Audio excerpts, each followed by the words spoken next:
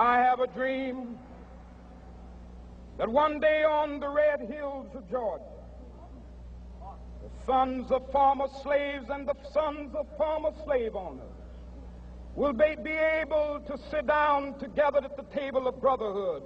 I have a dream that one day, even the state of Mississippi, a state sweltering with the heat of injustice, sweltering with the heat of oppression, will be transformed into an oasis of freedom and justice. I have a dream that my four little children will one day live in a nation where they will not be judged by the color of their skin, but by the content of their character. I have a dream today.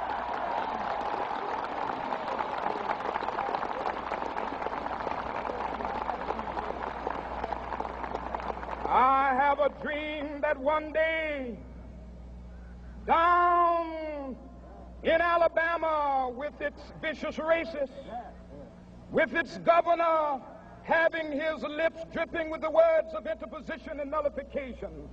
One day, right there in Alabama, little black boys and black girls will be able to join hands with little white boys and white girls as sisters and brothers. I have a dream today. I believe we can keep the promise of our founding.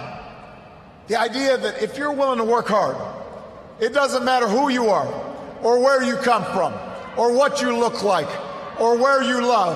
It doesn't matter whether you're black or white, or Hispanic or Asian, or Native American, or young or old, or rich or poor, able, disabled, gay or straight. You can make it here in America if you're willing to try.